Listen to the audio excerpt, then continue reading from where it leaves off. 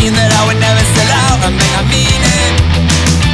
Obviously, unless somebody offered me the opportunity and then I'd take it. I'm no an idiot, it's like Tracey Emin's